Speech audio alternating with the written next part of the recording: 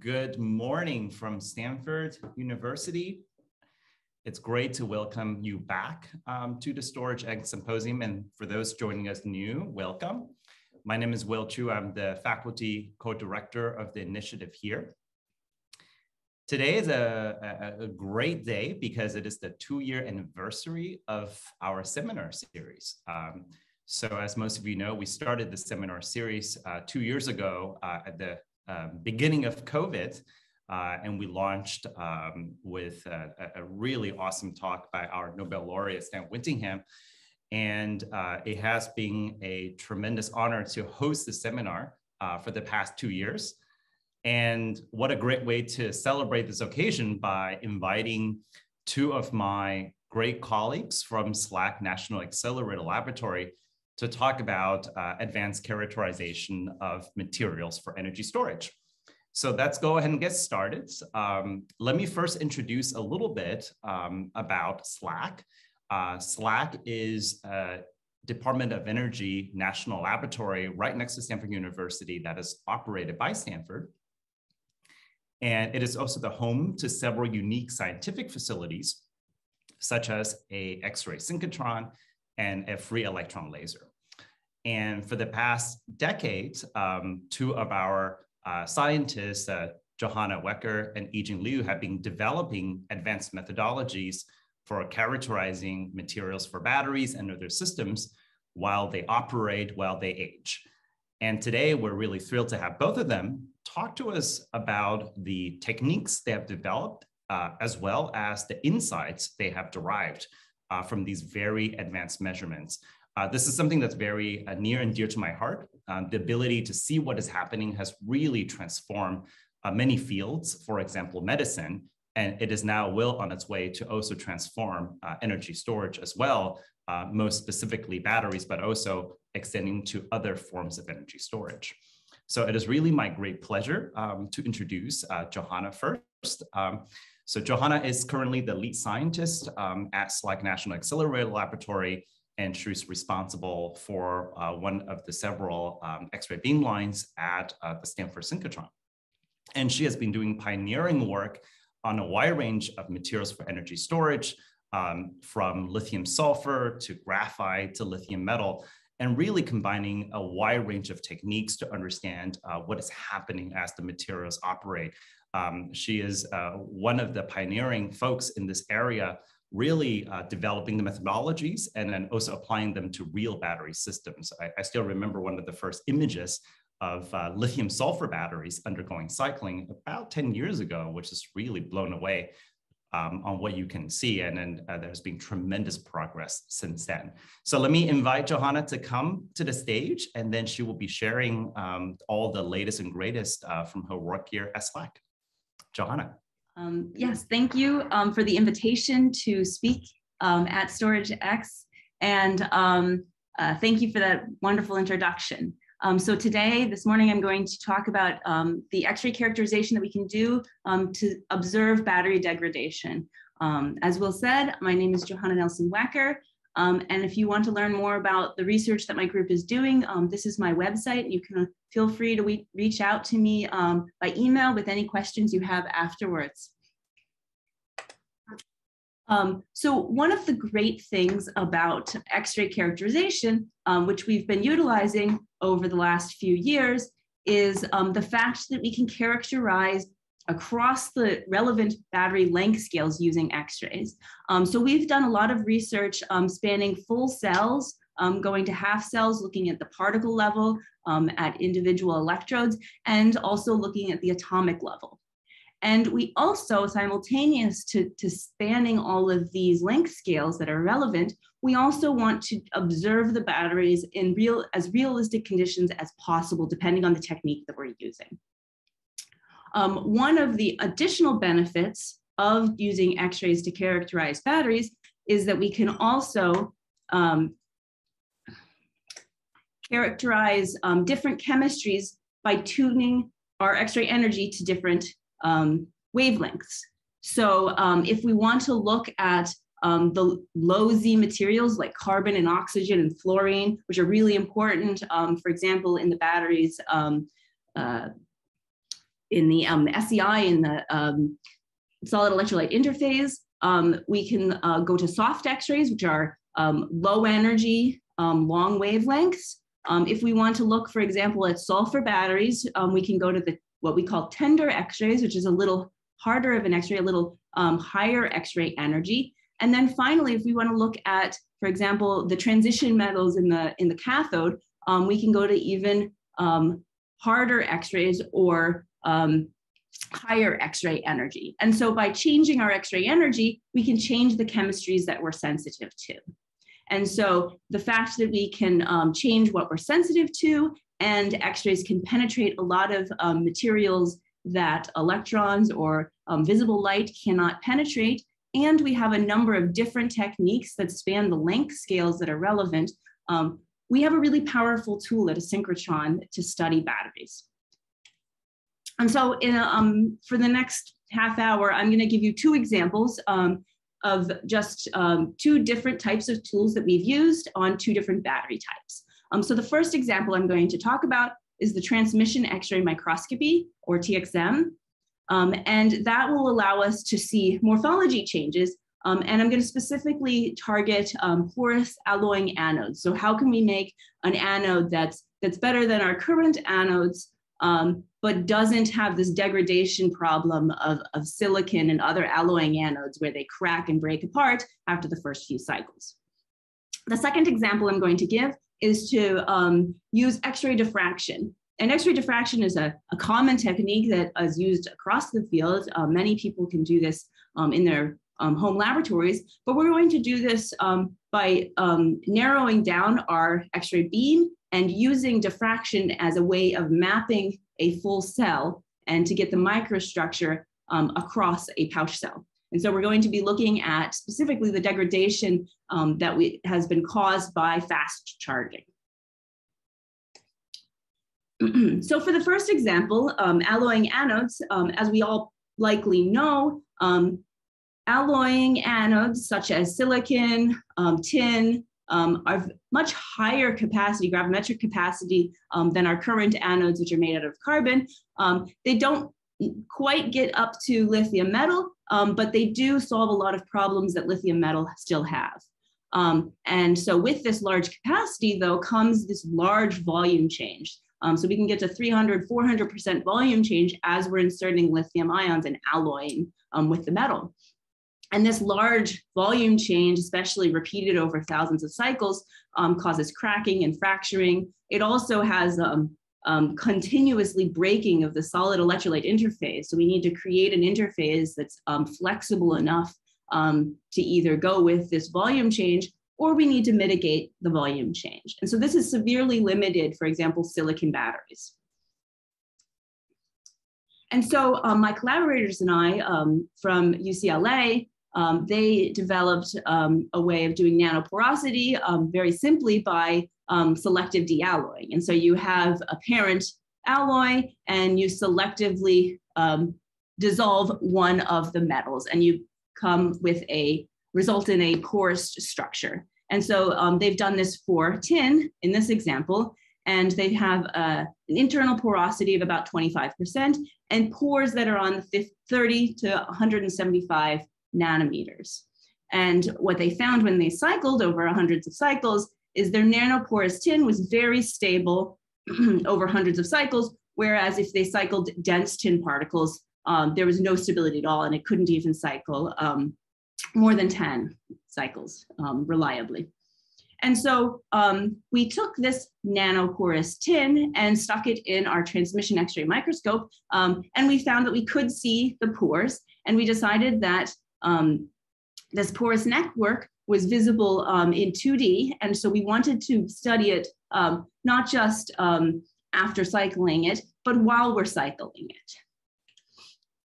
And so we took transmission X-ray microscope images um, during the first lithiation and delithiation cycle of dense tin, which is on this top row, and compared it to this nanoporous tin. And I give you just two examples of, of um, one particle um, per cell, um, but we actually looked at multiple cells um, and multiple locations across the cells.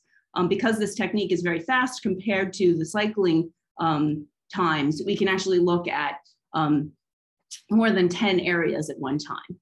And so what we found, if we traced out the um, area, and we can only say something about the areal expansion rather than the volume expansion because these are 2D images, um, and we can track that in time with um, voltage, we see this large burst expansion in the area um, in the dense tin at the very end of the lithiation cycle. And you can see that here. Um, so we have this dense tin that hardly changes in volume at all until the very end. And at this very low voltage, we get this large expansion and a crack. Um, the nanoporous tin, on the other hand, didn't show much of a total areal expansion if you track it over time or over voltage. Um, but we did see this morphology change, which was kind of disappointing. And so during the delithiation cycle, um, looking at that those same two particles, we see that as we deinsert lithium, um, we don't return to the original volume or shape um, of uh, the dense tin, and you can see this in the aerial expansion plot. Um, and we do return um, with the nanoporous tin, but again, we have this morphology change. And so what we found is dense tin is um, irreversibly deformed. It does not return to its original area. Um, porous tin, on the other hand, returns to its same size, but it's not in the same shape. So there's this irreversible morphology change that we want to get rid of. And so we took it a one step further.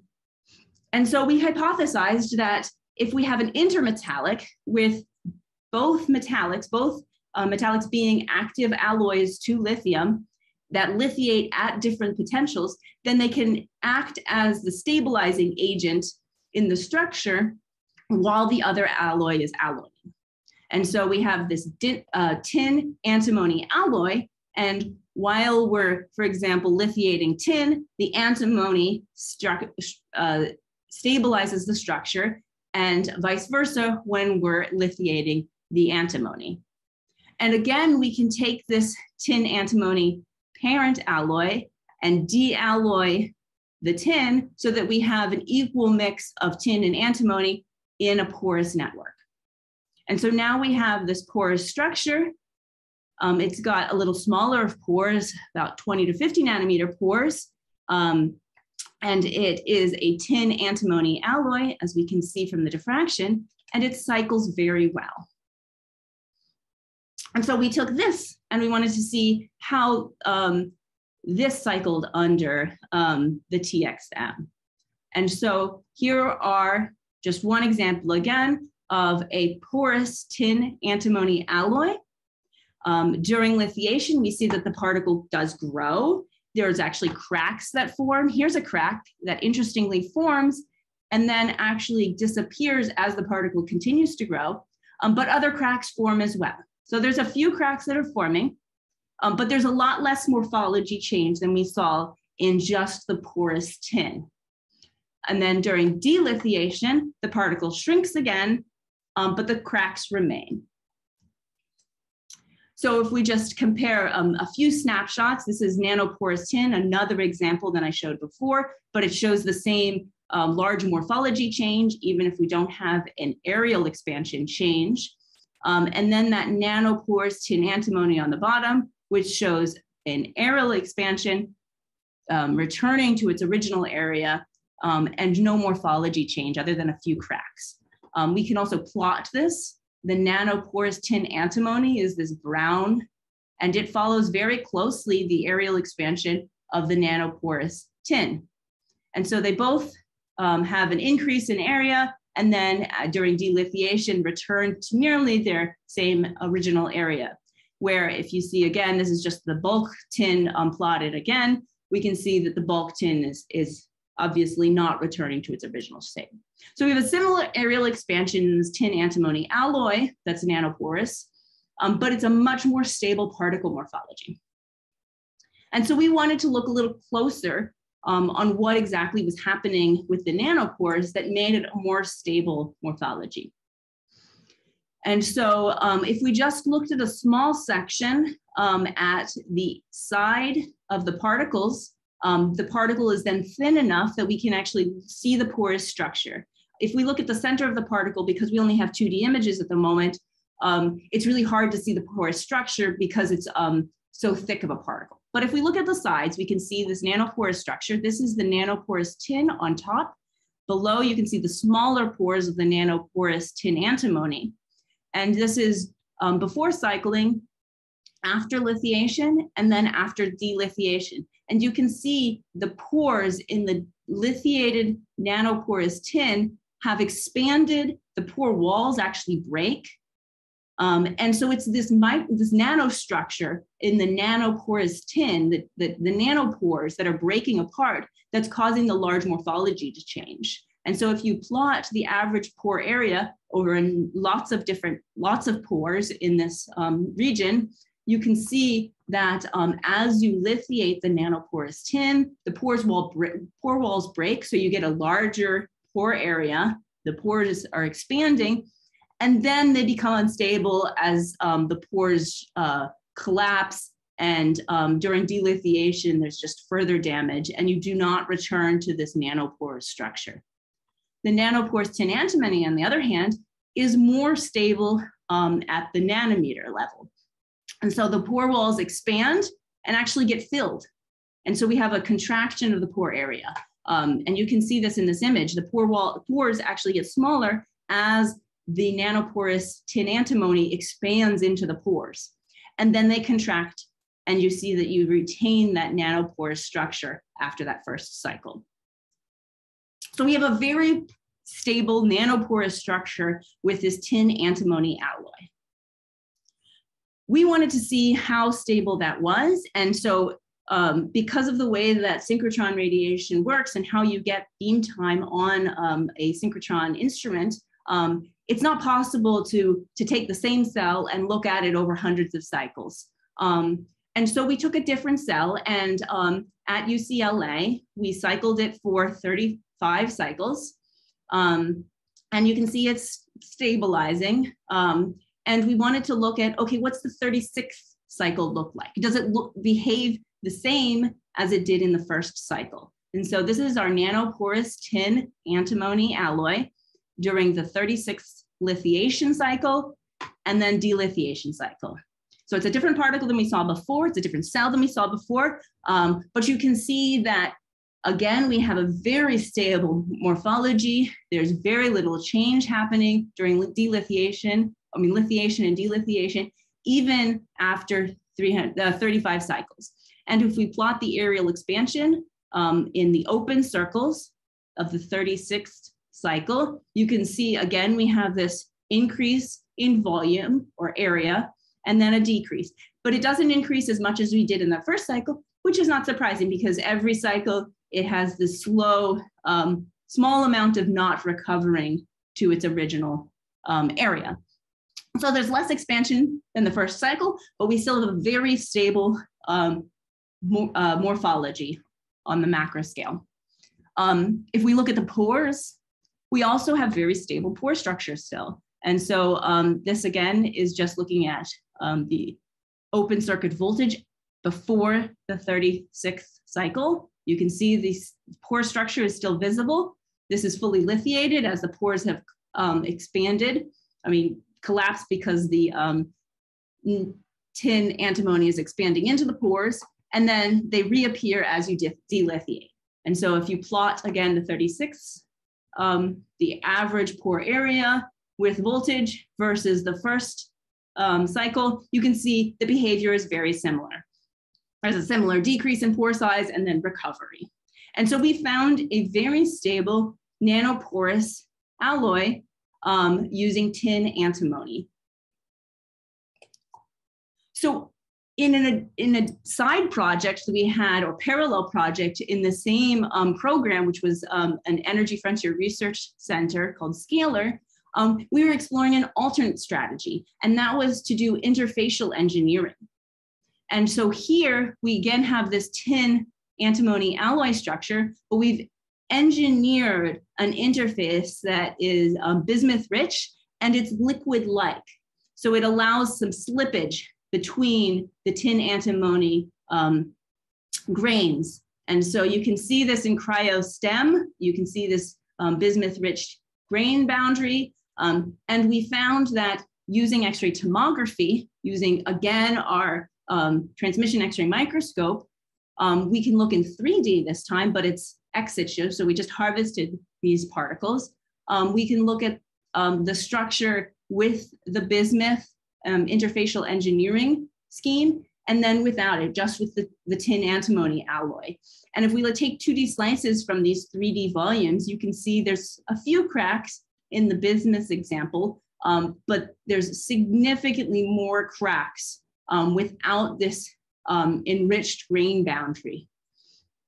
And so um, after 20 cycles, these are after 20 cycles, um, we get fewer cracks um, with this interfacial engineering. And so our next step, step in this project is can we combine the strategies? Can we get tin antimony alloy um, with nanoporosity and this interfacial engineering where we have these liquid-like grain boundaries um, that allow slippage between um, the tin antimony grains. And so that's what we're working on um, next in this project. Um, so for the remaining part of this talk, I want to um, switch directions and talk about diffraction and use diffraction to map out the microstructure um, of cells after fast charging and look at what the degradation mechanism of fast charging is in these cells. So fast charging, I'm going to define that um, as any charging that's faster than 15 minutes. Um, that's about equivalent of about a 4C charge.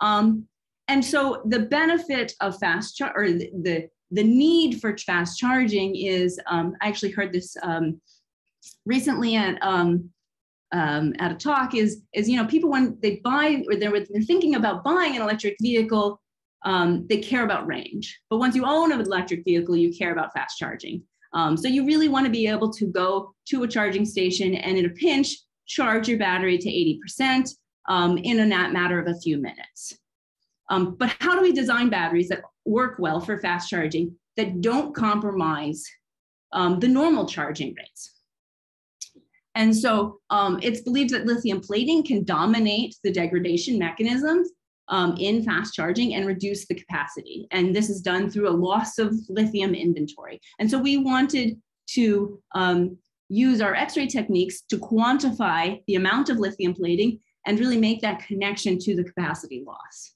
So normally, if you're um, testing um, cells and you want to see if you've plated lithium, the typical thing to do is to disassemble your cell and look at it visibly. So if you just take an image um, with your cell phone camera um, of disassembled anodes, you can see in, uh, for example, a 10 minute charging, you have lots of, lots of lithium plating um, on your graphite, whereas in a 15 minute charging, there's only a little bit of lithium plating that's visible. But that's not a very scientific quantitative measure of the amount of lithium. That's basically looking at how shiny um, is our um, anode. And so we wanted it to be a little more quantitative. And so we turned to X-ray diffraction. And we thought to do X-ray diffraction because lithium metals um, crystalline, and X-ray diffraction is sensitive to any crystalline material, um, even low Z materials um, that are transparent to X-rays, like lithium metal. And so we take a small X-ray beam and pass it through our pouch cell that we haven't disassembled um, and look at different spots. And we have some spots um, looking at the diffraction pattern in 2D, which are then rings.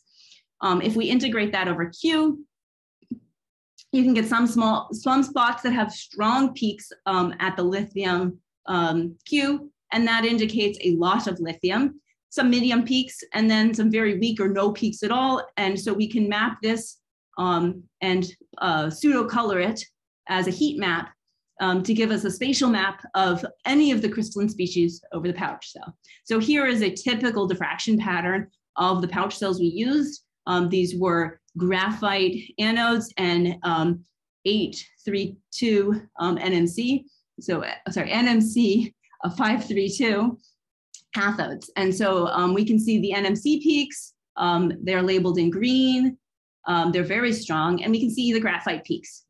As graphite lithiates, staged graphite peaks appear, and these graphite peaks disappear. And as we um, plate lithium, we should be able to see a lithium peak, although it is very small compared to these large um, peaks that dominate the diffraction pattern.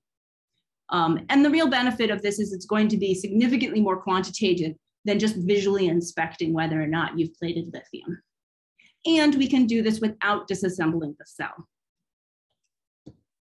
And so we took seven different cells. Here is the fast charging capacity loss of these seven cells. Um, there were two cells that were cycled at 4C, three cells cycled at 6C. Um, and here is sort of the details of, of exactly their charging protocols. All of them were discharged um, at a slow rate at C over 2.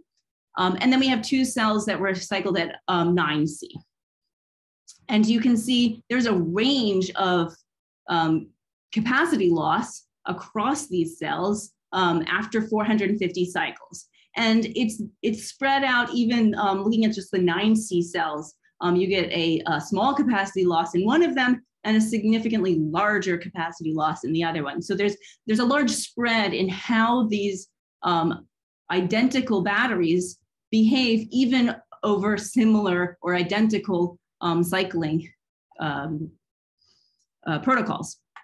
And so we took all of these seven cells um, and I've put them in boxes for their different charging. Um, so looking at the 4C, we uh, mapped them with X-ray diffraction. This is a heat map of lithium.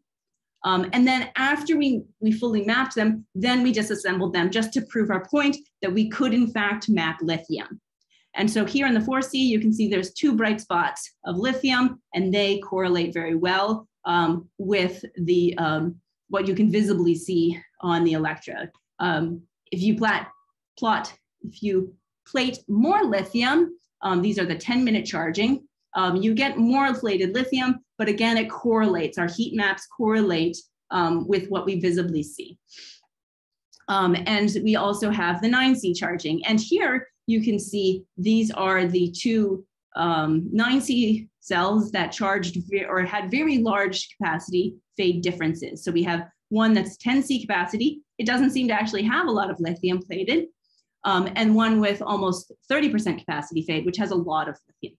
So just anecdotally, just looking at these cells right now, it seems to match that the more XFC capacity loss you have, the more lithium plating um, you can see so in the next slide, I'm just gonna focus down on these two 9C cells. And so here again are those heat maps of lithium metal um, and where it is on the anode. We can also, because graphite is crystalline, we can, we can uh, map um, with the same data um, what the graphite um, heat map looks like. And you can see where there's less graphite, there's more lithium. And that's a little confusing because you're like, well, where's the graphite going? Well, it's not going anywhere. It's actually no longer graphite because it's staged graphite. It's, L, it's LIC6. So if we map the LIC6 peaks, we can see they correlate with the lithium. And so these two nominally identical cells look very different, both where the lithium is um, plated as metal, but also where the lithium is trapped in the graphite. And these are both mapped at 0% state of charge. So 100% of the lithium should be in the cathode. And so what we see, first of all, there's more lithium with more capacity fade, um, significantly more lithium with more capacity fade, even in these nominal, nominally identical cells. And also the lithium that's plated is co-located with lithium that's trapped in the graphite. And so something's going on that's either causing the lithium to plate where there's degradation in the graphite, or it's the lithium in the graphite not able to escape as you delithiate um, the anode um, because the lithium metal is plated and blocking. Um, and so this is all just reminder, this is all what I call dead lithium because we're at a 0% state of charge. So we are unable to delithiate um, and strip this lithium metal out. So if we again look at all of those seven cells, um, and we sum all of the total lithium plated, so taking each of those spots in the heat map and sum up the total amount of lithium, um, we can plot the loss of lithium inventory from the known amount of lithium um, that we start with before um, fast charging um, and the um, subtracted from the amount that we see plated with capacity loss. And then the loss of lithium inventory that is due to it being the lithium being trapped in the graphite as LiC6 versus capacity loss. And you can see for um, the amount of lithium that's trapped in the graphite, that is not dependent on the percent of the capacity loss. Um, so that is independent of um, capacity. And so we think that um, is dominated at least um, by the capacity that, uh, sorry, that the amount of lithium that's trapped just from the formation cycles before we did fast charging. Um, and um, on the other hand, the loss of lithium inventory from plated lithium um, is linear with capacity loss. And so the, the uh, loss of lithium inventory does scale linearly with the fast charging capacity loss. And so that goes hints towards loss of lithium inventory as plated lithium is dead lithium is the driving um, mechanism for capacity fade in fast charging batteries. because we have not disassembled the cell before we took these heat maps with diffraction, we also are sensitive to the crystalline um, cathode material. So we can track the state of charge, we can map the state of charge um, in the cathode as well. And so going back to those two 9C cells, um, this again is the lithium heat map, um, looking at the plated lithium. Um, we can look at looking at the unit cell volume of the NMC crystalline structure. Um, so as it expands and contracts, um, as you lithiate and delithiate it, um, that can be mapped to state of charge. And we also plotted the um, peak width because we noticed that the peak width of the NMC um, 003 peak um, changes. And so two things that we found. um, the changes in the NMC peak width correlate very well with lithium plating. And so this is that second plot here. You can see it plots, uh, it correlates very well with where we've plated lithium. We also found that the lower unit cell volume, that means there's less, less lithium in the NMC, likely more lithium um, where it shouldn't be on the anode side, correlates to more dead lithium. And so here, the darker regions here correlate um, with the lithium intensity um, of the plated lithium. And so they're a little more spread out than you have, um, but there is definitely talk between, there's interaction between um, the lithium that's being plated on the anode and what's happening on the cathode as a result of it. And so finally, we decided to plot the occupancy of the cathode. And so going to um, the, the cathode side, we can plot, just like we did the, the amount of lithium at, on the anode, we can plot the lithium in the cathode. And we found that the lithium occupancy in the cathode is also linear with the capacity that's retained in the cell. And so therefore, all of the lithium in the cathode is active. And that's because capacity fade is the loss of lithium inventory plus the loss of active cathode material and active anode material. And if we can explain all of the capacity fade from the loss of lithium inventory, um, then we can say that um, the lithium in the cathode is active lithium. Um, and the loss of lithium inventory can be completely accounted for by the capacity fade during, can completely account for the capacity fade during fast charging. So this is just another sort of nail in the coffin, um, confirming that um, for fast charging, the loss of lithium inventory due to dead lithium from lithium plating and not being able to strip again is really the driving factor um, in the capacity fade during fast charging. So to summarize, um, I give you just two examples of the types of, of X-ray tools that we have at the synchrotron. We use um, the transmission X-ray microscope to look at morphology changes. We found that um, there was stability in being both nanoporous and also having this dual alloy of tin antimony. And we also um, started to explore interfacial engineering with this bismuth um, um, layer in between grain boundaries. And now we're trying to combine those two techniques to get even more stable um, alloying anode materials. Um, and then we use diffraction to map out the microstructure. And we can find um, that the loss of lithium inventory um, through lithium plating is the dominant reason for capacity fade during fast charging. And we can look without taking apart the cell at all, we can look at where the lithium is in both the anode and also in the cathode. So finally, I want to thank my research group. They're the ones who really did all of the um, hard work. Um, the anode work was started by Jesse Koh, who's now at Johns Hopkins. Um, it's been taken up by um, David Ajamanbudu, who's currently in my group.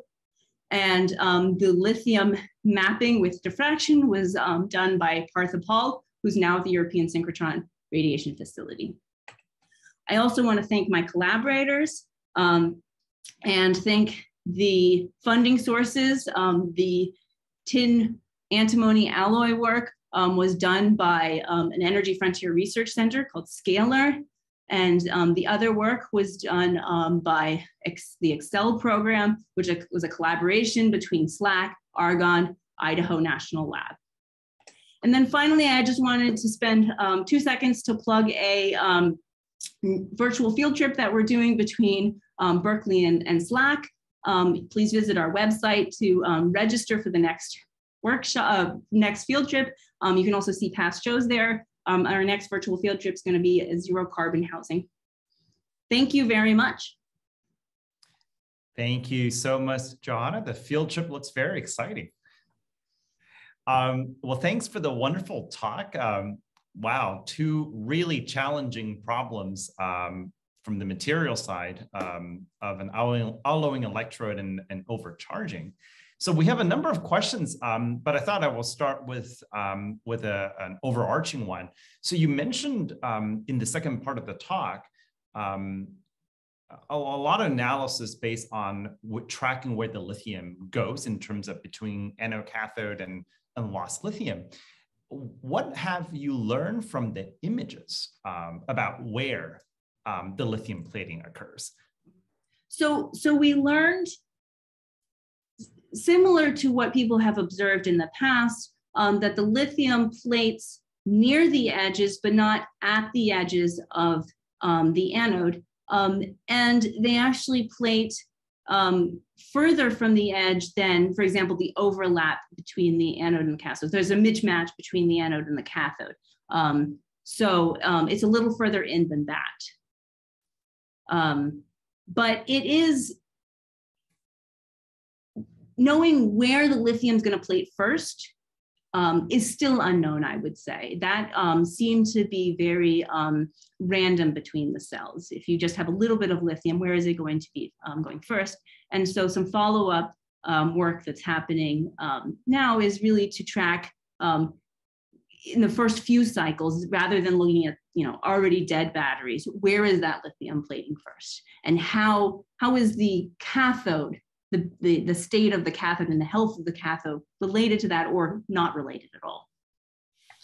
Right, John. So just to clarify, so you're seeing these sort of large scale features, like you said, a bit away from the edge, but not quite at the edge. Were there also unexpected, like a hot spot? You know, all you need is really one um, plate of lithium to short the cell. Um, were there any sort of um, randomly occurring spots um, in the cell in your study? Not in our study that we discovered. And I think that goes to the fact that we were looking at cells um, that had been cycled for 450 cycles. So they were very well cycled. And so there was um, at least in the 6C and the 9C cells, um, there was a lot of lithium plating.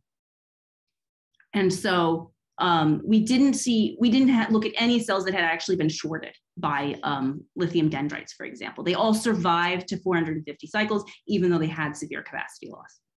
Um, so we weren't looking at that sort of very detrimental um, but rare event of lithium um, shorting the battery.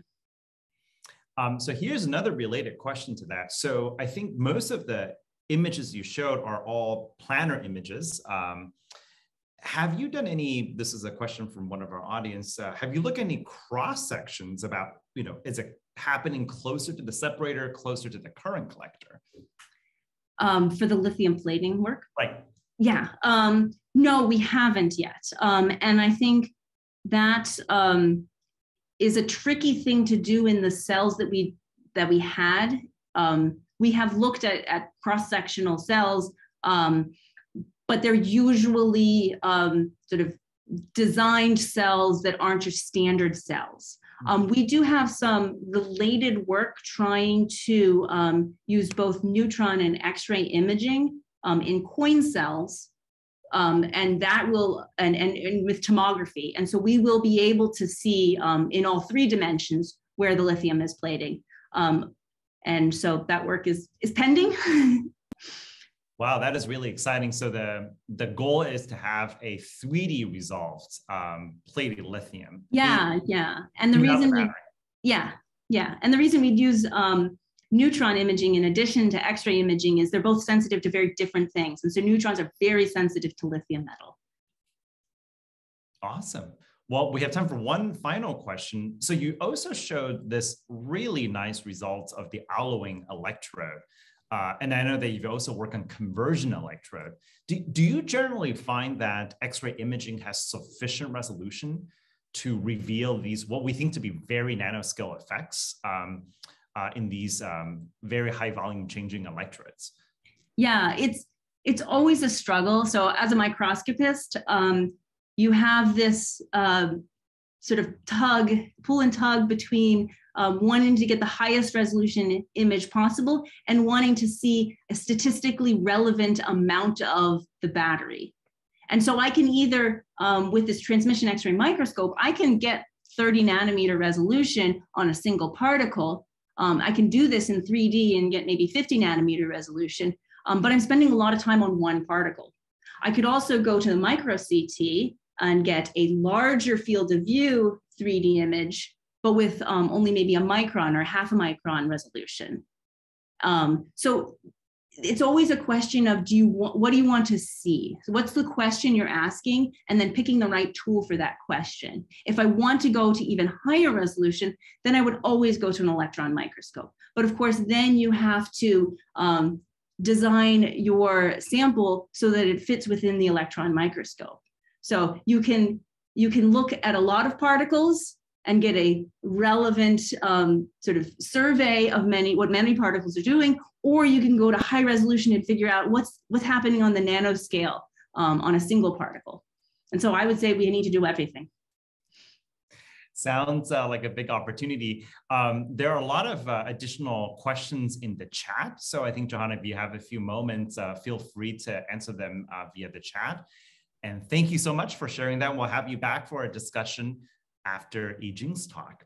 So uh, following Johanna's excellent introduction of X-ray uh, imaging and diffraction, uh, Yijin Liu, uh, who is uh, also a lead scientist at SLAC National Accelerator Laboratory and at the Stanford Synchrotron, will uh, continue this theme and um, talk about 3D uh, imaging uh, from very small scales to very large scales. And I also have the pleasure of knowing Yijin for about 10 years. I still remember um, the, one of the early talks he gave.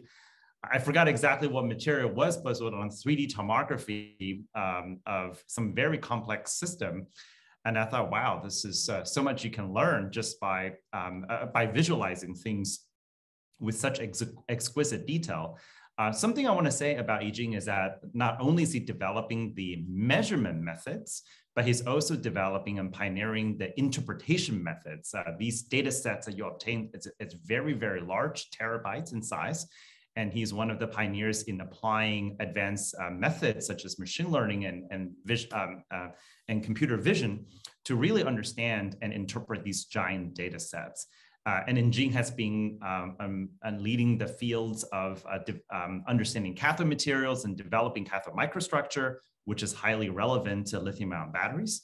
Uh, so Yijin, we're greatly looking forward to your uh, many of the beautiful images and movie you will show uh, in the next 30 minutes. Uh, Yijin, go ahead, please. Okay, thank you, Will, for the uh, very kind introduction, and thank you for the op opportunity to present my work. As you can see from this title, I will highlight the uh, multi-scale aspect of the research for lithium-ion batteries. Now, before I talk about uh, batteries, talk about the technology we developed uh, over the years, I want to show you one old photo taken about, um, about 10 years ago. So you can see that this photo was taken in the year 2013, and you can see Johanna and myself together with our colleagues Joy and Darius at the bin line at, Cesario. You have met Johanna just now. She has not changed at all over the years. On the other hand, you see me right now, I uh, age a lot. So together, we not only study batteries, but also provide useful data to you know, review the degradation or the aging mechanism for the battery scientists as well. Now, a little bit introduction of my research group. I um, work in a very highly interdisciplinary area. We play with the materials, we do the characterization, we uh, make sense of the data, and then we do all of this for the uh, desired functionality. Well, the cartoon is simple, but when you look at the real, um, real sample or real data we are interfacing with, you realize that there are a lot of problems here and there. The materials can be very messy, the device is full of defects. The experiment we do is highly delicate, many things can go wrong, and the data we acquired in there is very noisy. And that's why we really need to tackle this problem in a very systematic fashion in which we need to develop not just the uh, experimental methods, but also the computational uh, tools to help us to uh, harvest information from the data. Now let's talk about lithium ion batteries. Uh, I'm sure that the people in the audience are very familiar with this. The lithium ion battery has two electrodes and the lithium ion goes in back and forth as the uh, um, um, uh, cell is operated. Now, if you look at the real thing, the real physical device, you realize that it's highly complicated through many different scales. As I said, you know, if you zoom in to look at the internal structure of a cylindrical cell, you see this jelly roll structure. If you further zoom in, you look at the electrodes, they are made of thousands and millions of uh, uh, particles. And these particles, they agglomerate together in different fashion. They have different size, they have different shape. They have complicated internal structures. And if you look into the um, subparticle structure, you see the uh, domains, grains. And of course, if you further zoom in, look at the atomic scale, there are local um, phase transformations and local uh, uh, lattice distortions as well. Now, because I didn't study batteries, didn't study electrochemistry in, in my grad school, that's why when I look at this complicated systems, I need to develop my own understanding of it. And this is what I did. If we think about what happens when you charge a lithium ion battery, let's look at the bottom row here first. What happens in the charging process is that the lithium ion and the electron will diffuse from the bulk of the cathode to the surface of the cathode. And after that, the electron and the lithium ion, they will go through different pathways. And hopefully they will meet on the other side, on the surface of the anode. And then they um, get together, they then uh, integrate into the uh, anode structure. Now that reminds me the uh, traveling experience, which everybody is familiar with, right? What you have to do is you have to diffuse through the traffic you get to the airport. You are so close to the airplane already. You might even see the airplane through the window, but there's a little bit of inconvenience standing, uh, standing in the way. After that, the passengers and the uh, check luggage, they go through different pathways. But hopefully you will meet on the other side, and then you can go through another diffusion to the destination, which is the hotel. Now, the problem here is that these two um, uh, two charge carriers, they have uh, different resistance. Lithium ion is slow, electron is fast. It's similar to this uh, traveling uh, scenario where the passengers usually arrive has no problem, but the luggage can be missing. So that's why you, you could potentially get stuck because of that. Now for this complicated system, we care about the uh, uh, morphology, we care about the lattice structure, we care about the oxidation state. And utilizing the X-ray-based technology can uh, help us to understand many of these different aspects of the material at different length scales and can offer very valuable information for us to gain uh, in-depth understanding of the system.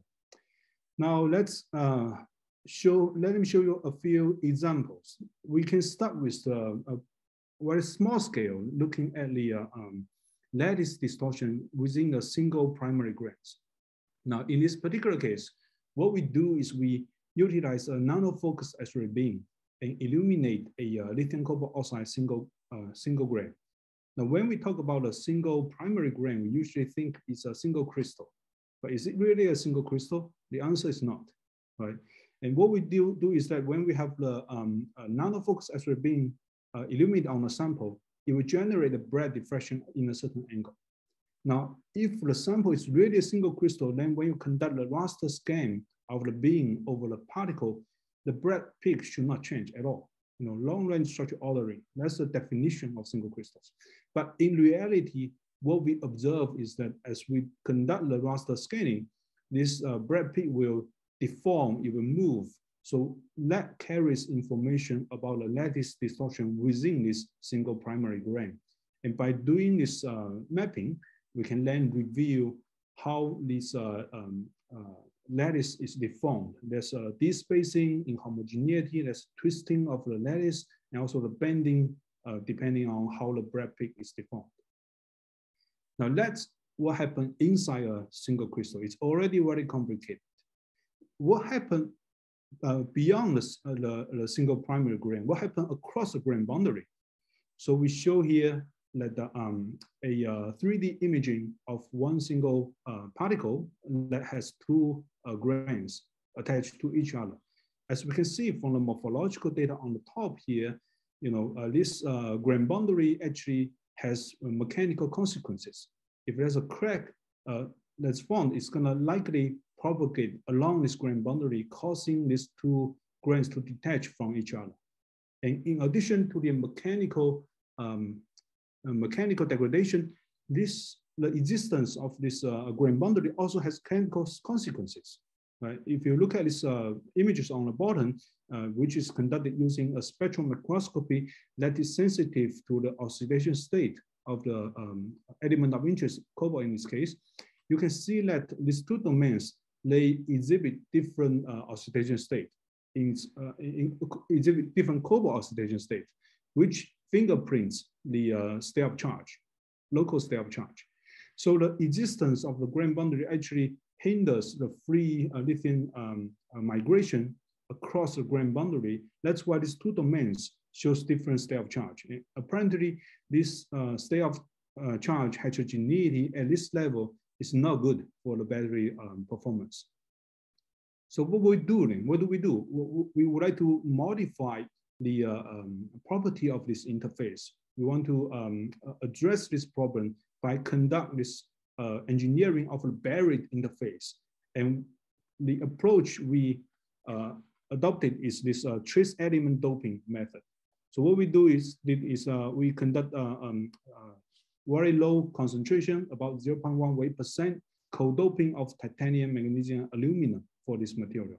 Now it's interesting to show here that through the experimental result, the different dopant actually has different spatial distribution inside this particle. For example, the aluminum is more or less everywhere. On the other hand, you can see from this image that the uh, uh, titanium naturally segregates onto the grain boundary. So it naturally modifies the property at the uh, grain boundary at the interfaces, which will then um, you know, uh, contribute to the improved uh, performance in different mechanisms. So these are ex situ characterizations. It allows us to study the material uh, at different electrochemical states um, when it's harvested from a cell. Um, as Johanna has highlighted, uh, utilizing the X-ray as tools, we can um, see these materials under operating conditions. In this particular case, we uh, design a uh, pouch cell geometry, which allowed us to follow one single uh, lithium cobalt oxide particle over many cycles. And interestingly, we observe that even for this one single particle, if you operate the cell under different C rate, this particle will respond differently. Now, at the beginning, we were charging in 1C, discharging in 1C. You see that only 50% of this particle return to the discharge state after the first cycle. Now, if we do this even faster, in a few minutes charging, a few minutes discharging, you see a smaller percentage of the particle is returned to the discharge state, even though the entire cell shows that it's at the discharge voltage. Now, if we do this for a longer time, five hours charge, five hours discharge, then you see a, a significant portion of the particle can be recovered. And of course, if you do the long-term cycling, even under the same condition, there will be some um, degradation over time. So that shows that uh, um, you know the, there are um, so much complexity already from the single primary grain level to single particle level, and that um, uh, understanding is very useful for us to uh, um, design the materials for better uh, performing battery. Now, the degradation of the uh, battery materials not only happens as we electrochemically cycle the cell.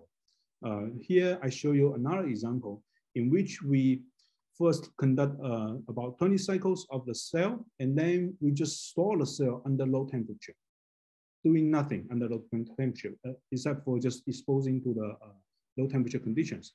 And after that, we recover the cell back to room temperature for further electrochemical cycling.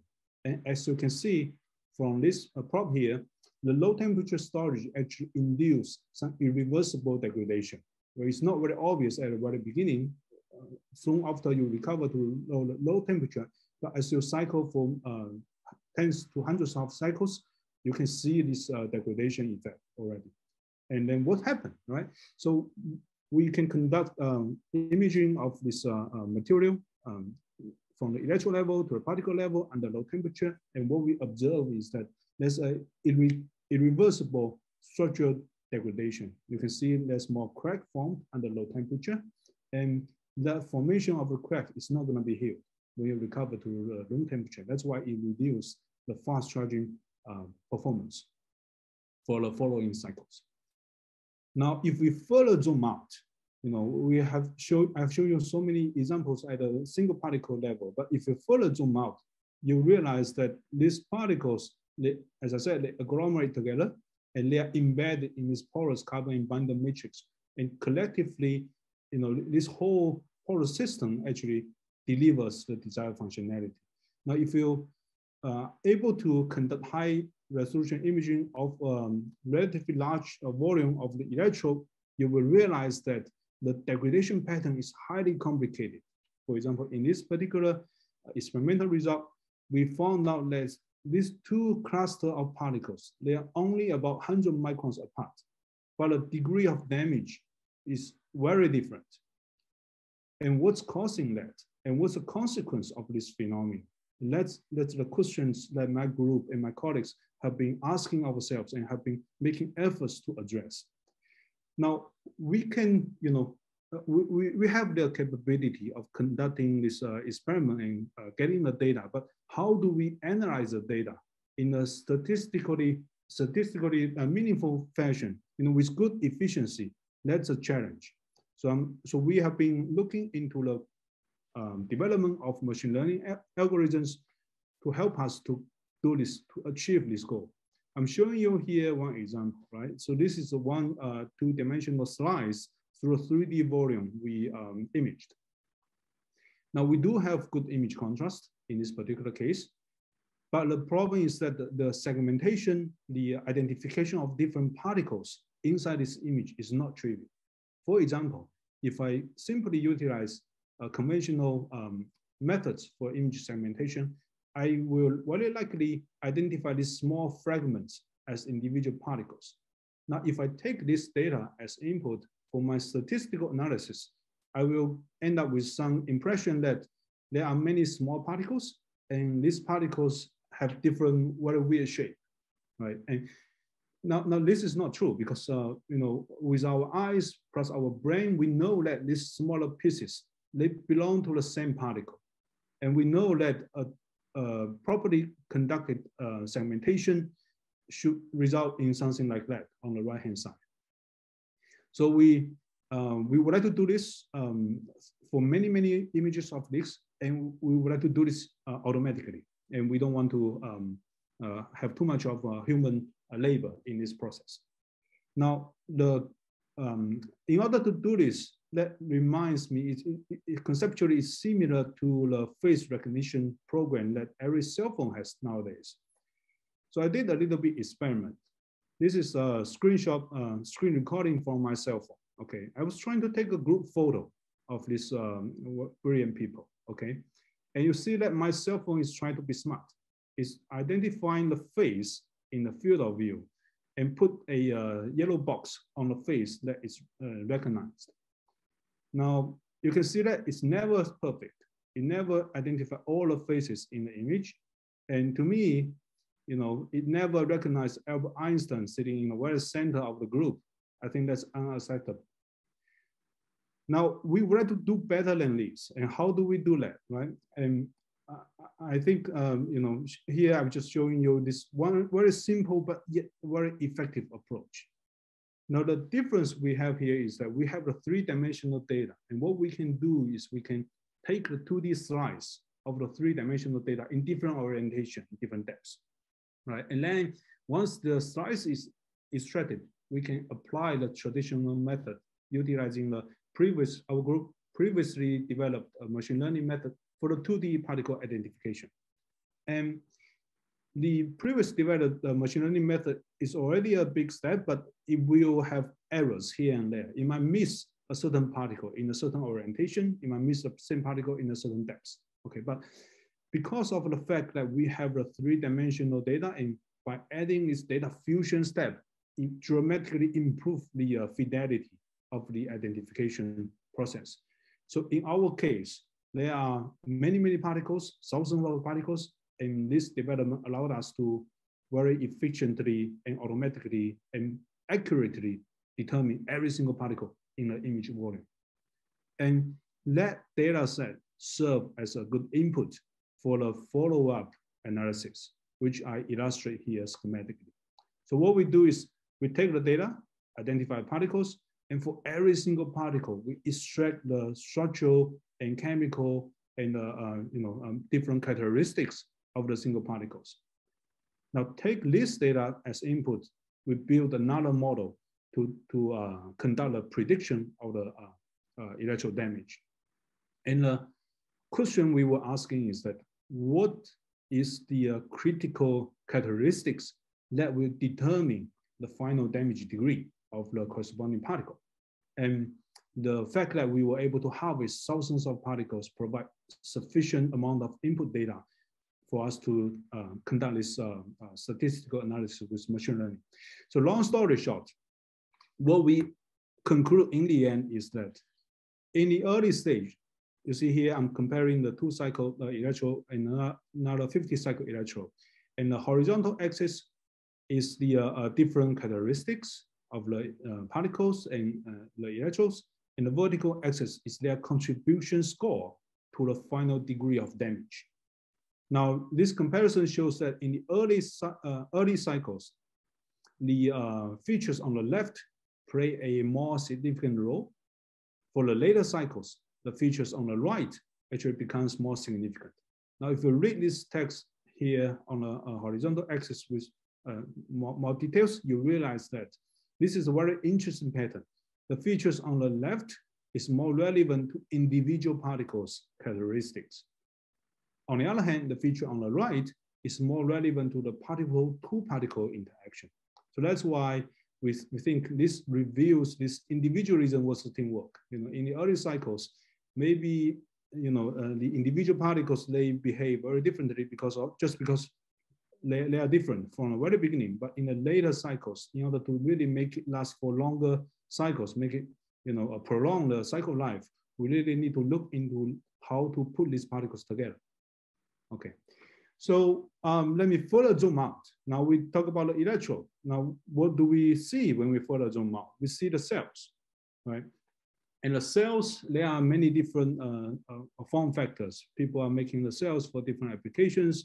Um, for example, in this particular case, we were studying a, um, a commercial cell. This is a, um, a, cylindrical cell that failed the uh, quality inspection because of the self-discharging effect.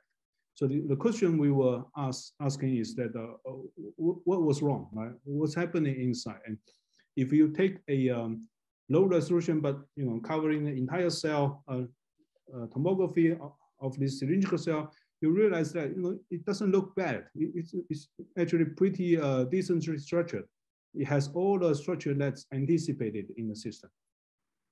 Now, the key is to look a little bit more into the details and look at the different locations. So for example, if we uh, carefully investigate these uh, um, you know, current collectors near the positive terminal, we see the deformation of the current collectors. And if we go through this um, uh, electrode um, uh, uh, slice at different depths, you can then uh, identify, for example, there's delamination, there are voids, cracks here and there.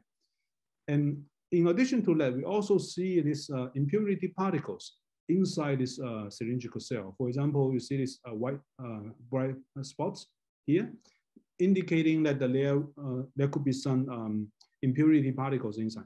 Now, having this 3D uh, data reconstructed allowed us to identify the exact location when we unroll the jelly roll structure. And once we do that, then we can harvest the electrode at uh, corresponding location for further analysis. So what we did is that we cut this small piece out and we conduct a number of different uh, uh, follow-up characterization. For example, we can conduct fluorescence mapping over this uh, particle of interest. And what we see is that uh, these different impurity particles, they actually have different composition. For example, many of them has uh, chromium and iron that could come from the uh, stainless steel, so which may uh, coming from the, the, machine operation.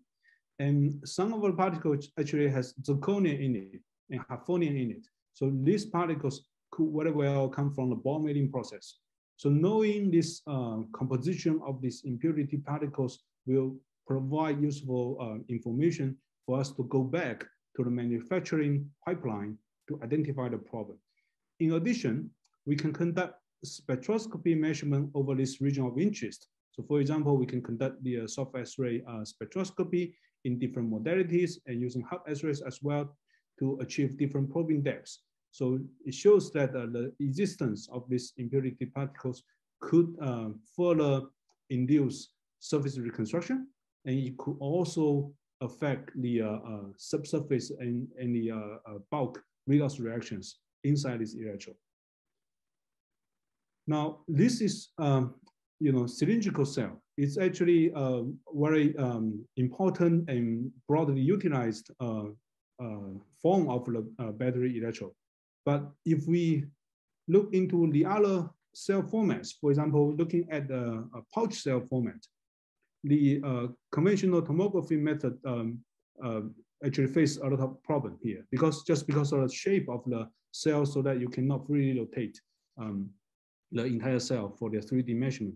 So what we did recently is that we developed a uh, laminography approach, which um, you know uh, shows uh, the uh, experimental geometry in here. I won't go into the details, but what I want to highlight here is that using this method, we can actually not only see the cathode with good uh, resolution and good fidelity, but also see the graphite anodes um, with good contrast, actually. And this is done in situ, so we can uh, monitor the uh, evolution of the cathode and the, uh, and the anode as we operate the cell under different conditions. So for example, in this case, I'm showing you here that uh, uh, as we charge the, uh, the, the cell, we can see that there are some hotspots developed inside a cathode particle. So that shows the you know, intra-particle heterogeneity. On the other hand, for the image on the bottom here, you can see that there are two small particles on the left. The intensity is more or less the same, but on the, uh, on the right-hand side, you see one becomes brighter than the other. So that shows this uh, intra-particle, uh, interparticle heterogeneity, both of which can be induced as we uh, cycle the cell or we abuse the cell electrochemically. The same thing can be done to the uh, anode side, uh, the graphite anode, as I show you in this uh, image here. Um, there are uh, void formed upon charging. You know, the cracks can be formed in certain particles, uh, anode particles, and we can also observe some of the debonding, you know, cracking at the electrode level as well. And more interestingly, we also observed lithium plating uh, in this um, uh, in this cell. So what we did is that uh, um, you know because of the fact that we have the 3D data of this pouch cell, so we can select the same depths. So this is a slice near the uh, anode and the separator. We can see that the, at the beginning is very clean. There's no um, structure whatsoever. But as we overcharge the cell, you start to see this uh, uh, interesting feature that's developed. And we um, associate this uh, observation of this feature uh, with the lithium plating because we can disassemble the cell. And again, we can visually inspect the uh, location. So which confirms that uh, this is indeed the lithium features. So it actually was a little bit surprising to me because originally everybody was thinking that this low concentration, you know, low Z element is very transparent to the hard X-rays. But uh, we are showing here that uh, uh, with the proper experimental configuration, this can also be observed. So that really opens up a lot of opportunity for us to study this complicated degradation of lithium ion battery under operating conditions and to highlight here that uh, there are many different degradation mechanisms and the fact that we are able to visualize different components in the system really um, offers um, uh, opportunity for a uh, in-depth study in this field. So I talk about the complexity of the uh, battery from the single prim primary grain to the secondary particles to the actual, to the cell, you know, to big cells.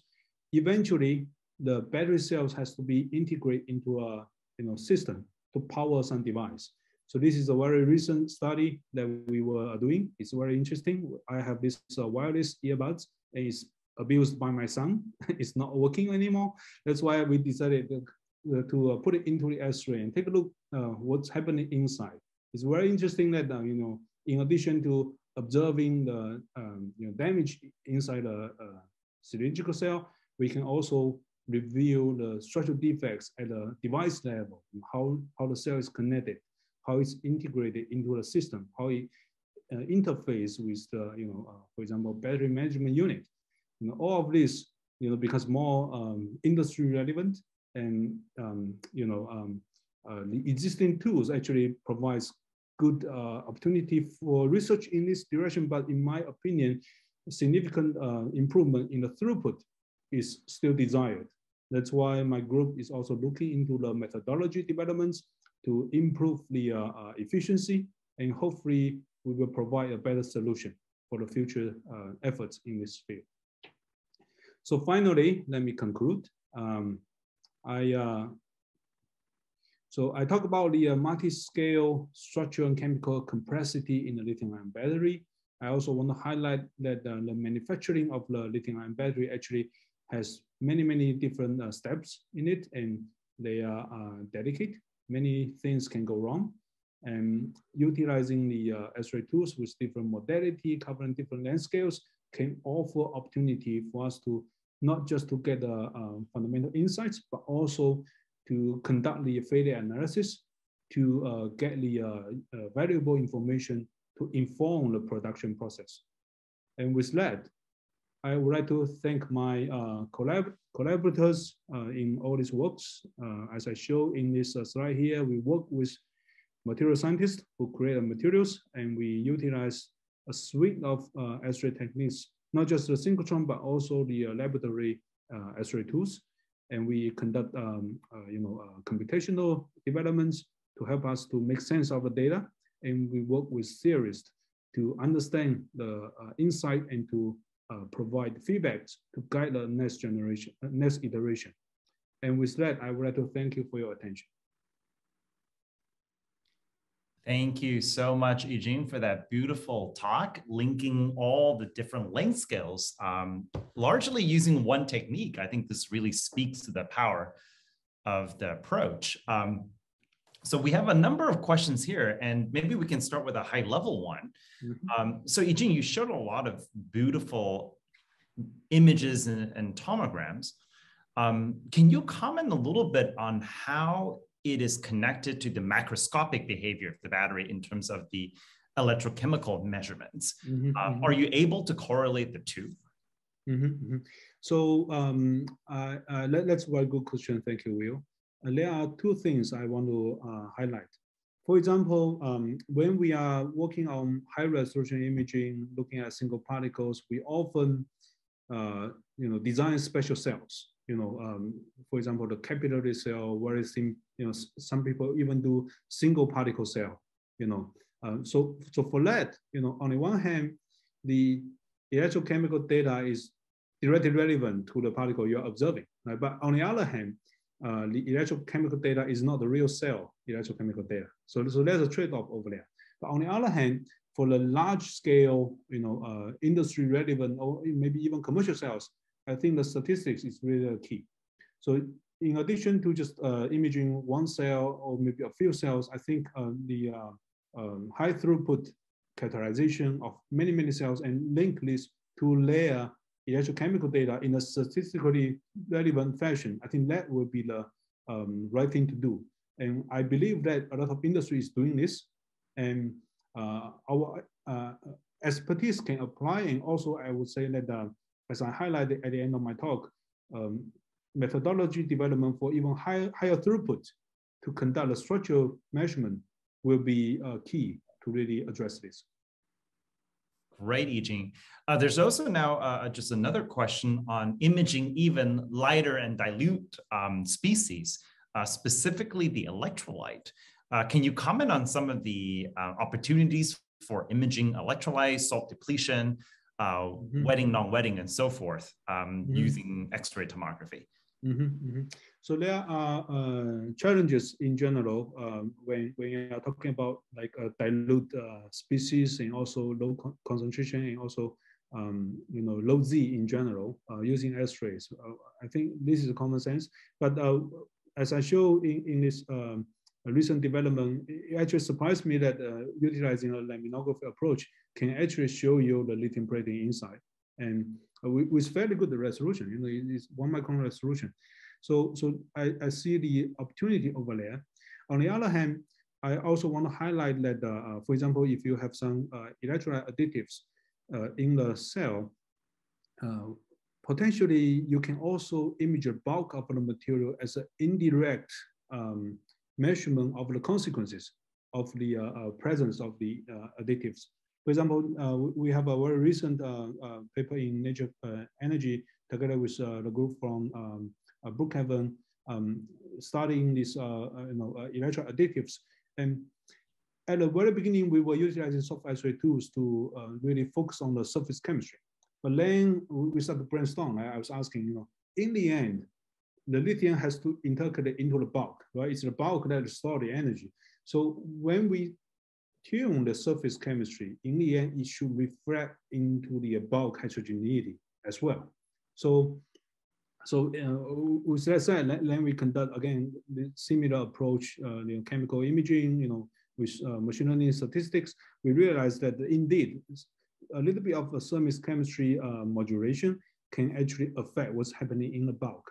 So you are not directly measuring what's happening on the surface using hard X-ray tools, but it will help you to understand the, um, you know, um, the consequences uh, as a whole.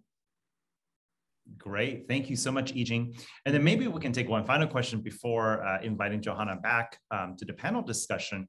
So uh, in, in several of the papers you mentioned, um, you're identifying these very small changes in the composition or microstructure mm -hmm. of cathode active materials. Mm -hmm. um, so have you been able to derive um, some unifying um, rules about how to design the microstructure of these cathodes based on your understanding of the degradation pathways. Mm -hmm, mm -hmm. Yes, yes, that, that, that's a, a, very good uh, um, uh, comment.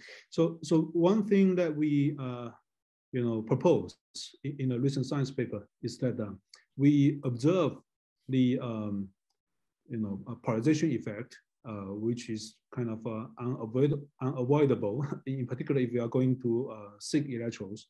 And we propose that you know, by doing this uh, uh, structural engineering at the electron level, for example, we can tune the uh, uh packing density as a function of the depths, then, uh, you know, it, it, could potentially uh, mitigate some of this polarization effect. But um, in the lateral um, direction, we think that uh, it, it's not just to make the uh, individual particles better, but to make the uh, consistency of different particles so that everybody will work together, right? It's a very interesting, um, uh, you know, comment made by my colleague uh, Ke Jie from uh, Purdue University. He said it's very similar to managing a big group of researchers, right? You have uh, 20 students, five of them are super good. So what do you do, right? You can use them, you can, you know, let them work very hard uh, at the beginning, then they get tired out. Then you start to look into the second tier. So this is one scenario.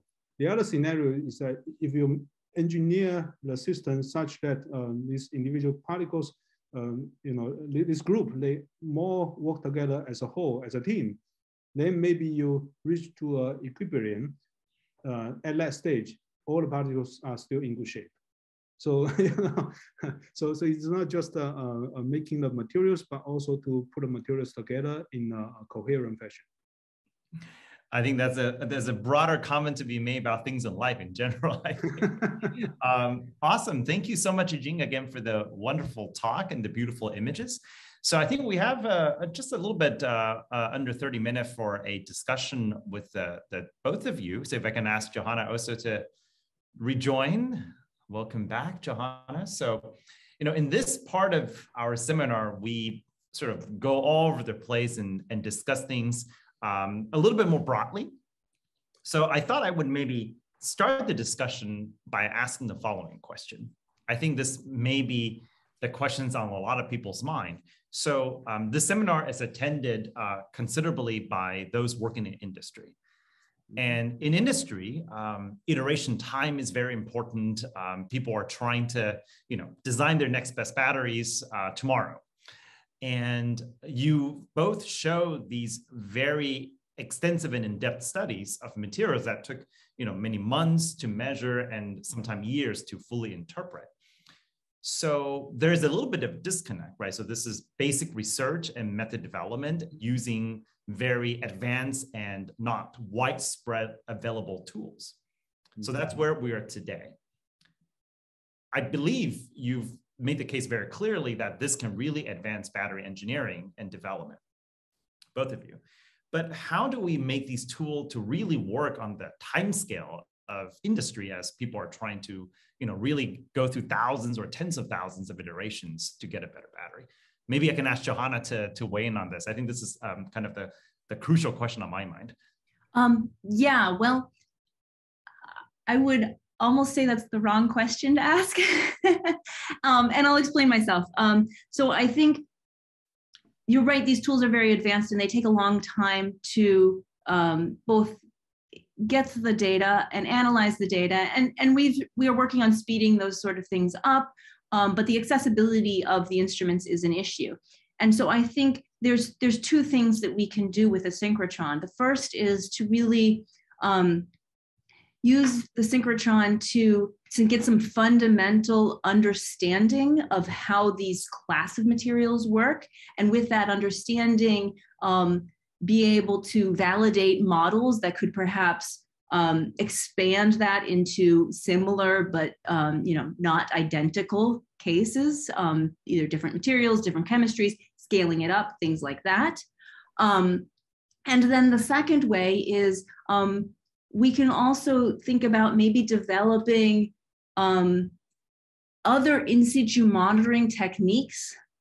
Um, and I'm sort of haven't really thought about this in detail yet, um, where um, maybe um, we can get an understanding of, um, of signatures. For example, there's been some work in, in using um, sound sound waves to to probe batteries and and and understand degradation that's happening in a battery. Um, but it's really hard to interpret the data. Um, so we could do x-ray imaging or um, other characterization with x-rays at a synchrotron simultaneous to a probe that would be more accessible um, to industry maybe even accessible to monitoring um, electrodes as you are making them or cycling batteries um, at a larger scale. So I think those two connections, connecting to um, the fundamental research to sort of um, broader um, scale up issues with modeling and also then um, monitoring techniques and understanding the, the signatures from different monitoring techniques that could be used um, at the industrial level. Yijin? Yes, yes. So um, I agree with everything Johanna said. Uh, now, uh, maybe let, in my perspective, it's useful to look back in the history um, of X-rays. Now, before synchrotron even exists, all these X-ray characterization tools was available in the laboratory. Uh, people were doing this in the laboratory. Uh, it's broadly available. You know, if you have a um, decent budget, you can buy some tools for your lab to conduct some studies. But then we have the synchrotron development, which shows you know great improvement in the uh, throughput because of flux and all that. So people start to you know uh, come back and, and, come to utilize synchrotron as a um, you know let, us say uh, advanced tools. But after so many years, with all the developments in different technology, in X-ray source, X-ray detector, in X-ray uh, you know, optics, and all that, now we are actually seeing a trend that we can bring some of these uh, capabilities back into the lab. You know, it doesn't have to be as bright as a synchrotron, which is a billion dollars, too much. But uh, you know, if you say, you know, um, one order of magnitude lower, or maybe a little bit more than that, lower, you know, it becomes start to become available. And for this, you know, the um, uh, industry application availability and the uh, you know, accessibility is so important. So I think at this point, um, it was to look into some um, you know um, effort to really make it uh, you know standalone technique as well. So I think uh, there are a lot of efforts in this field already, and uh, I'm also looking into this uh, in the future. So Eugene, John, if I merge your thoughts, I think what you're saying here is, yes, it will be the throughput for these advanced measurement is indeed much slower than other lower fidelity measurement like lab tomography and X-ray imaging.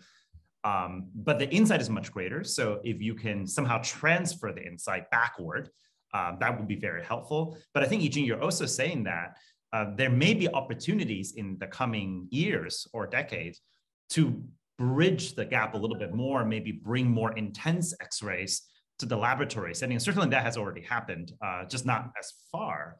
So it sounds like there's a both way traffic going, going.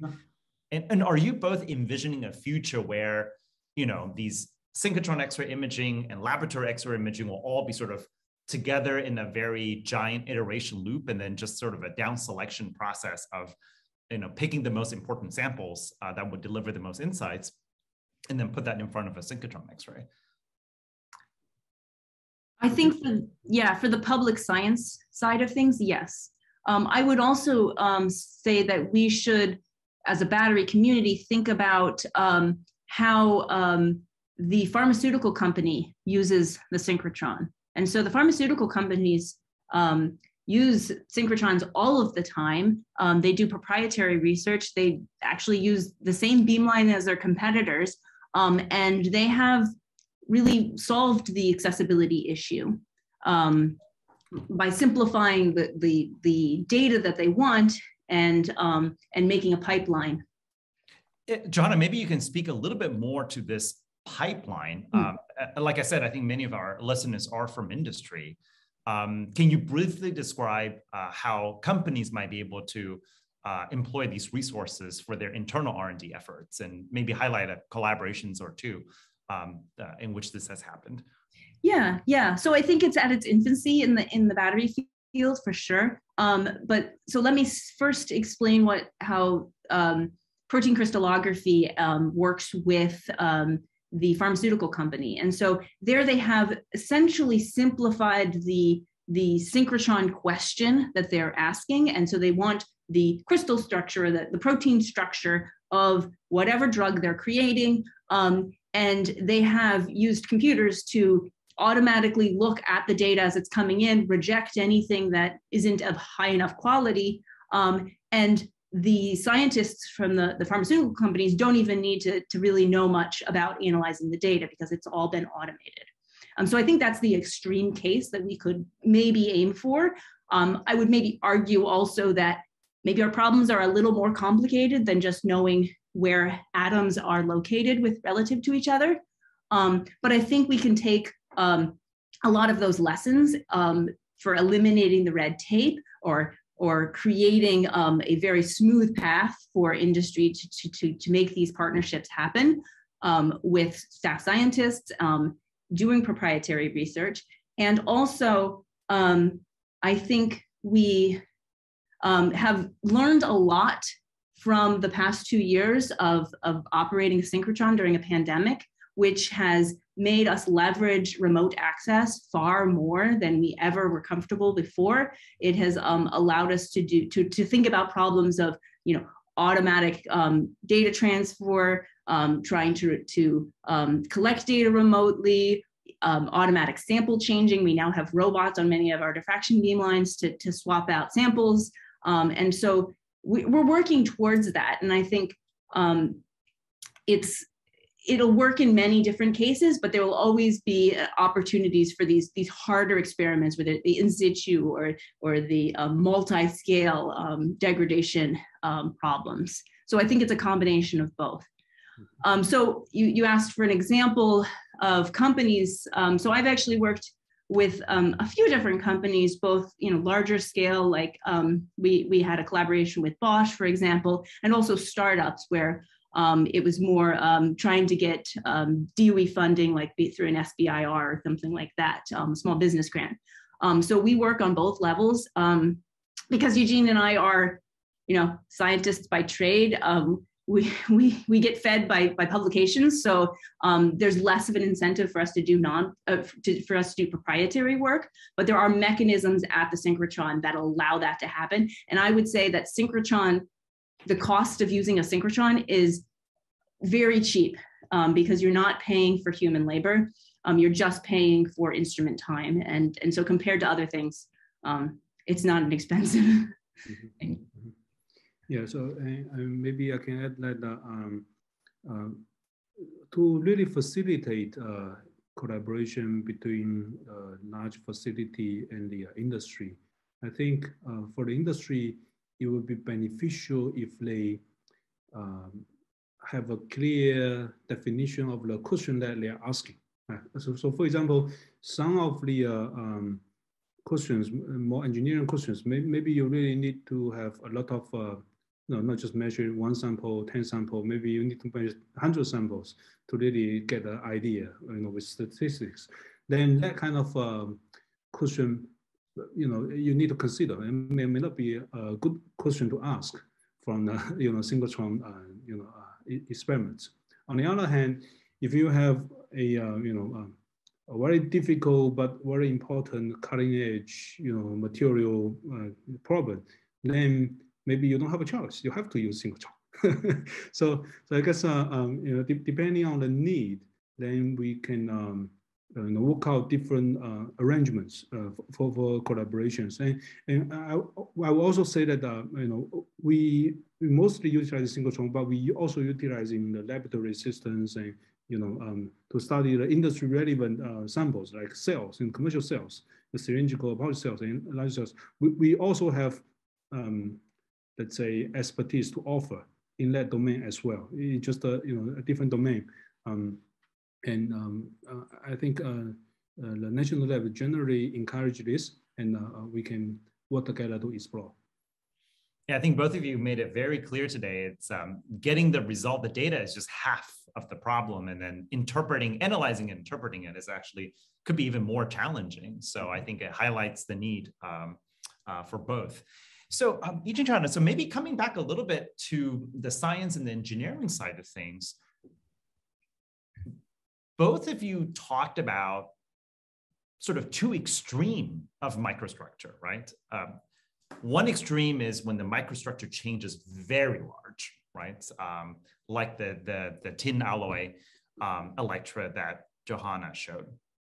And then in the other extreme, I think, E.G., you're talking about a, a tiny crack that happens. Um, so there's both these small microstructure change and big microstructure change in a battery. Can you talk a little bit about sort of what you think the future is in terms of microstructure engineering? um, you know, there's now this increased um, notion that we need to go to these very microstructure changing materials like conversion electrodes to get that high energy density. But there's also this feeling that well, these small microstructure changes really what kills you at the end. Um, so maybe we can, you know, zoom out from the methodology itself, but to the to the sort of the science and engineering of how do we manage microstructure going forward, right? So that that the, the, the limit of no microstructure change is, is long gone, right? Uh, we don't do that anymore. Um, you know, that doesn't give you the type of energy density needed for, for battery technologies. So I think this is something that's being very sort of on the top of my mind as well as we think about, you know, how do we manage microstructure? Just like how aging how do we manage people? Do you want to go first? you want me to go first? No, you can go first. Okay. Um, so I, I think it goes, uh, at least um, for the alloying anodes, um, what we've found is um, so so the nanoporosity is is somewhat like you're saying is is a little bit of of trying to prevent the microstructural change or maybe just make minimize it um, but i think what we've also found is that um, many of these alloys um, go through either crystalline structural changes or amorphous crystalline changes. And so we've found that um, I think there was there was one anode um, that we looked at that went through crystalline structure change if we lithiated it, but if we sodiated it, it was all amorphous and then ended crystalline. And allowing the um, anode to go through an amorphous change healed the cracks that we um, created early on. And so this was um, allowed us to sort of manage the large morphology changes because we healed the cracks as we formed them um, because because it was it was no longer just crystalline um, phase changes. And i think the the other thing to think about is whenever we're managing these these microstructural changes is you know if, are we developing systems that are scalable? Um, you know, if we create this, um, this perfect anode that can cycle for thousands of cycles, but you can only develop it in a small beaker and you'll never be able to scale it to, to something that's industry relevant, then, then I think it's a scientifically interesting finding, but it's not necessarily going to, to develop um, the battery um, community. Mm -hmm. Yeah, I think, you know, um, a lot of this study uh, provides insight into the uh, you know, magnetic insights. And that, you know, we, how do I say, so, so we take these magnetic insights in a way that, uh, you know, it's not just a literal, you know, finding, you know, it's just, just not just by itself, but we need to extrapolate a little bit, right? So for example, um, when we talk about the polarization effect, then we see, okay, may, maybe the gradient will be a, a viable approach. Then how do we achieve a gradient? We can do, uh, you know, somehow field guided or some, for example, the uh, 3D printing, you know, then, it becomes like um, open field, right? So the, the insight we got is the, maybe it's the, the desire for the gradient structure, but how do we achieve it? Then it's open field. Everybody can come up with new ideas to achieve that. So, so that's one example, right? And also, for example, the uh, um, uh, the um, you know uh, uh, consistency of different particles, right? And we say it's important, but we don't necessarily need to make like perfect spheres, right? Or, or consistent perfect sphere. We can have some elongation, for example, if that's um, better from a synthesis perspective. But if we do have the elongation, then you know, uh, do we align them or you know, uh, in a uh, um, you know electro structuring um, efforts, or do we prefer not to have them aligned? Do we prefer random orientation? So the magnetic study can help us to get that information to figure out what's desirable, and then you know, and more engineering effort can be proposed to achieve it. Hmm. Yijin, thank you so much for that. Um, maybe building off what you said, and I, I think when when we report um, energy density in academia, we often say, you know, per kilogram, right, gravimetric. but often in industry, um, the interest is more on the volumetric side, especially for electric vehicles to keep the battery small. Mm-hmm. Um, and you know, I if you look at some of these problems that you have reported on today, you know, decreasing the volumetric density is a good way to solve the problem, maybe by adding more um, carbon network or by providing more space for the particles expand and shrink. What do you think about this sort of what seems to be a fundamental um, trade-off between gravimetric and volumetric energy density when it comes to a sort of volume changing material? Is there any way to break that relationship? Um, so you know, you know, how can we pack the electrodes much more closely, but still allowing it to last many thousands of cycles? That's very difficult. um, I don't have a good idea for that, uh, but I mean, to me, I agree with you. It's, it seems to me it's like a fundamental conflict we are trying to resolve. You know, um, you know, I can make a ping pong ball so robust, it bounces around, it doesn't crack. but you know, the density is so low, it's not going to be useful mm. for for the uh, you know uh, as the electrode. But I guess uh, after all, it's a application-driven design. Mm. I guess uh, it's, it's better to uh, start from the end application and then define the need and you know define you know what the volumetric density is desirable and all that and then work from there backward to uh, conduct the uh, uh, material design. I think that would be the rational approach. Johanna? Yeah, and I um, agree with what Yijin said. And I think designing electrodes, not just designing the materials to high, have high capacity, both gravimetric and volumetric, but designing the electrodes as well. Um, and that's some problem that we've we found in, in the fast charging world is is you can design a battery that fast charges that's not the problem but can you design a battery that's high capacity that fast charges um, and so i'm you know i'm less worried about and maybe i should be i'm, I'm less worried about capacity gravimetric and, and volumetric um, because i feel like I, I feel like the battery industry has done that. Like we we have really great electric vehicles. Um, and I'm more worried about looking into the future and and and looking at do we have the material resources to to to meet this demand that we've created because we've made electric vehicles so desirable and we've we've we've sold the idea that we're going to electrify everything and everything's going to have a battery um, can we actually do that with lithium? Can we do that with NMC? Um, you know, so so I think at least for my interests, going towards those those novel electrode materials that meet what we have gravimetric and and and volumetric right now, but with lower cost, um, more sustainable materials. So I think that that's at least my interest in, in where the community is going. Sounds like an awesome vision, uh, Johanna. Thank you for that. Um, as we're coming to the end of the hour, you know, I thought I would ask more of a forward-looking question. So I, I find it's very useful to look backward. Um, so you know, if you take yourself back to, you know, 2005, 2010, um, I don't know what you thought, but I, you know, if I would say, well, in 2022, what will we achieve? Um, my guess is that many of the things you presented today is like, oh, that's probably going to be very, very hard to do all of this stuff, to see lithium, to see carbon, you know, to see 3D microstructures at tens of nanometer level to do batteries, you know, cycling operando. Um, well, I don't know, maybe you're optimistic, you thought that was very easy, but I certainly thought it was very challenging. So I would like to ask you to sort of think ahead for another 10 years.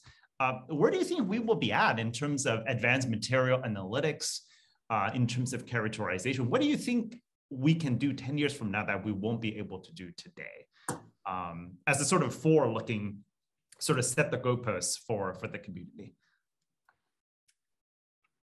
I'll let you. I'll give you a few seconds to think about it. Yeah, yeah. I think one challenge that we have yet to, to tackle, and we've been, I would say, we've been wanting to tackle it sort of from day one, is um, the the true combination of of techniques. Um, and so, one technique will never answer all of your questions.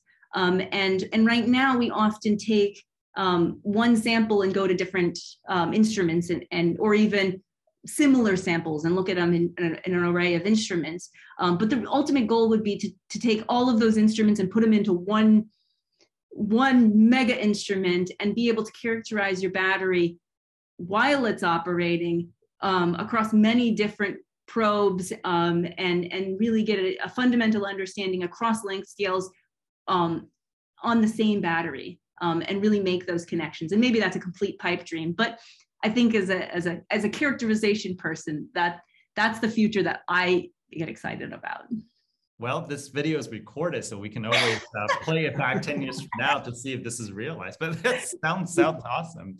Well, Yijin likes to give pictures of me 10 years ago, so I expect that. Yeah. So, I mean, for me, what I want to do in the next 10 years is to um, bring all this uh, uh, techniques we talk about today, you know, it's so cutting edge, so fancy, so high resolution. I want to bring it available so that we can plug it into the uh, manufacturing, you know, uh, lines, you know, so that you, you will uh, provide sufficient uh, throughput, efficiency, and sufficient degree of automation so that it will be really utilized in the industry instead of just utilized at a single job. So that's that's my um, my dream. And uh, uh how am I going to do that? I don't know, but but uh, I think uh, efforts are needed to push this direction.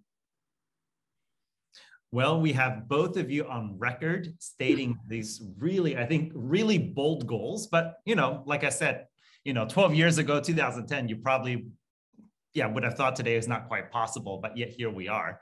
Um, I think on a brighter note, I mean, there are a huge amount of resources being invested. There's a huge amount of interest.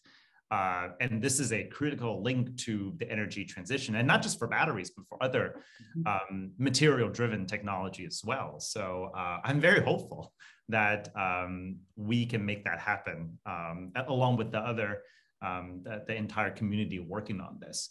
So thank you both um, very much for sharing that bold vision. Um, I really look forward to talking to you in 10 years uh, or and also between then as well. Mm-hmm. Um, so with that, uh, let me join our audience and thank you both again for taking the morning to talk. So, so number of exciting things happening uh, in the coming weeks uh, here at Stanford. Um, so we will have our first um, big in-person seminar. So for those of you um, tuning in from the Bay Area, um, we will be hosting uh, Professor Martin Winter from the University of Münster. So he directs the MEET um, Battery Center, one of the largest uh, academic industrial uh, complex uh, in Europe and uh, he will be joining us uh, next Tuesday um, here at Stanford. So if you're interested, uh, in attending, please uh, register now. Uh, the spots are very limited. And it's a, one of the great opportunity to meet um, um, our European colleagues here uh, in the Bay Area. Uh, and then um, following that, uh, we will have another exciting Storage X seminar. in This is next week, so our schedule is a little bit um, um, out of sequence. So on May 27th, so one Friday, one week from today, we will have a discussion on what is a very interesting concept of cell to pack. Um, and Professor Chaoyang Wang and uh, Mujeeb uh, uh, CEO of Next Energy, uh, our Next Energy will be discussing um, batteries at the length scale between cells and packs. And this is a, a very interesting technology to increase um, the performance of batteries, not at the materials level nor the cell level, but at the pack level. Uh, so this will be a very interesting uh, length bridging discussion. Uh, and then two weeks after that, on June 10th, uh, we are very pleased um, to feature uh, Kevin Wujcik, who is the Chief Technical Officer at Bluecurrent. they are a, a, very promising solid state battery startup here in the area with strong connections to Stanford um, to talk about their latest um, polymer-based solid state batteries. And then he will be joined by my colleague, uh, Professor Alberto Salleo, who will also talk about next generation recyclable batteries uh, uh, based on polymers and organic molecules.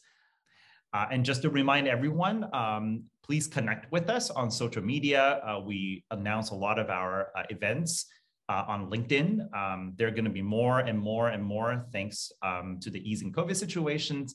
And we really look forward in, in sending uh, many of you. Uh, and then for those of you very inter uh, interested in education, um, Stanford also has a professional education program. Um, so uh, take a look at this link. Um, there are multiple courses we're offering, including a recently launched one on electric vehicles and electric grid um, being, being taught by um, uh, experts um, uh, from Stanford and my colleagues. So with that, I'd like to thank everyone once again for joining us um, today, uh, morning here at Stanford. And I hope all of you have a great weekend. Thank you, everyone.